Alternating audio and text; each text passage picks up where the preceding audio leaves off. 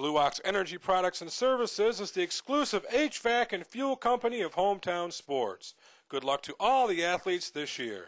We're at Delaware Academy in Delhi for a Section 4 Class C Division 5 contest between the Delhi Bulldogs and the Greene Trojans. The winner of this game claims second place in a playoff spot, while the loser is eliminated from the playoffs. Greene won the toss, and Jeff Day kicks off for the Bulldogs. Alex Henry fields the kick and gets a decent gain before fumbling it away. Delhi has the ball and they get it going on the ground as Brenton Hood slices through a hole and takes it to the 17 yard line. Now Nate Rockefeller gets in the act and he takes it down to the 6. With the ball at the 4, Rockefeller takes it through the line and into the end zone and Delhi's up 6 to nothing. Greene gets it back and starts moving as Kurt Spear completes a pass to Daniel Say for a first down.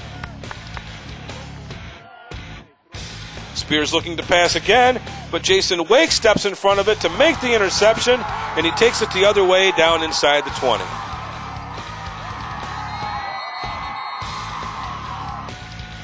They fake to Rockefeller, and Pat O'Connell keeps it. We'll see him come into our picture and into the end zone, and now the Bulldogs are ahead 14 to nothing after the conversion. Greene's offense is still having trouble getting started as the Bulldogs stop them on third down and force a punt. Delhi keeps moving the ball, and Brenton Hood takes this one inside the 10. Then he gets it to the 1 to start the second quarter, and he scores to give Delhi a 20 to nothing lead. They go for two, and Chad Rockefeller gets the pitch on the option and takes it to the corner to make the conversion and give Delhi a 22 to nothing lead. Later in the quarter, Delhi gets stopped on the third and seven, and they have to punt. Alex Fletcher gets his punt blocked by Alex Henry, and Dwayne Sherman takes it in for the touchdown, and Greene cuts the lead to 22 6. They go for two, and Alex Henry takes it in to make it 22 to 8. We'd go into halftime with that same score. At halftime, it was juniors versus seniors in a powder puff flag football game. Back to real football, Delhi opens the second half with the ball, and Brenton Hood gets the call. He gets through a hole, cuts it inside, and he's off to the races. Nobody's going to catch him. Hood goes all the way for a 65 yard touchdown, and Delhi takes the 30 to 8 lead.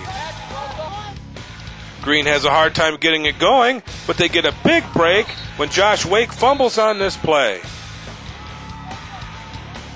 Then, just like that, Kurt Spear drops back and lets it fly.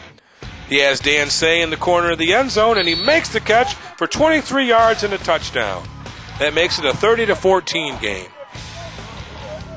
I wonder if this guy realizes he has Mickey Mouse for an umbrella. In the fourth quarter, Greene stops Delhi on third down and forces a punt. But Kurt Spear and the Trojans can't take advantage as Spear's bomb gets intercepted by Jason Wake. The Trojan defense comes up with another big stop and gets the ball back for the offense. Spear finds Dan Say on the far side, and he gets it down near midfield. They go forward on fourth and three, and Spear finds Say again for a Trojan first down.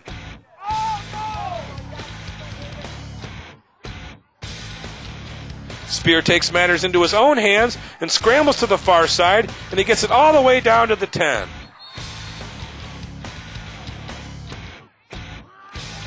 Spear keeps it again on second and goal, and he gets it down inside the five yard line.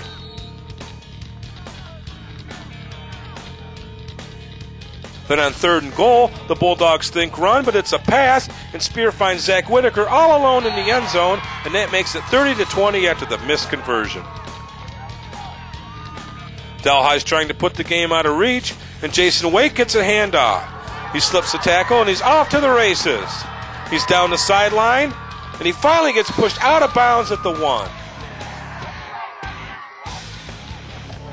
Brenton Hood takes it the rest of the way, and Delhi's up 36 to 20. Greene's got it at their own 26 with under a minute to play. Kurt Spear lets it fly out of the shotgun formation, and he finds Dan Say in stride, and he takes it to the house for a 74-yard touchdown, and now it's 36 to 28 after the conversion.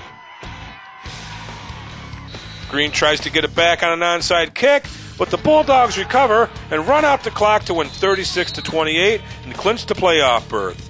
They'll play Elmira Heights at Union Endicott's Ty Cobb Field. Let's hear from Coach Kelly and the players. This is the first time in a couple of years, and uh, we're certainly had it as our goal. We're happy to be there. Uh, second half was uh, we made some critical errors that uh, would concern us a little bit, but we, you know, we were doing quite well there for a while. Oh, it feels great. You know, our last three seasons have been kind of losing seasons, and finally we get to be up there with the top dogs and be able to compete in the uh, playoffs this year. We're just thinking, hang on, hang on. Secondary's got to make plays. We got to get after the quarterback, make him make some bad decisions. And that happened. We picked a few passes off, and then we had some long runs. It feels great. We haven't uh, had a big, big games last few years. Our team stepped it up, defense, offense. Offensive line made some blocks in the first half, got some big runs. Overall, we stepped up real big.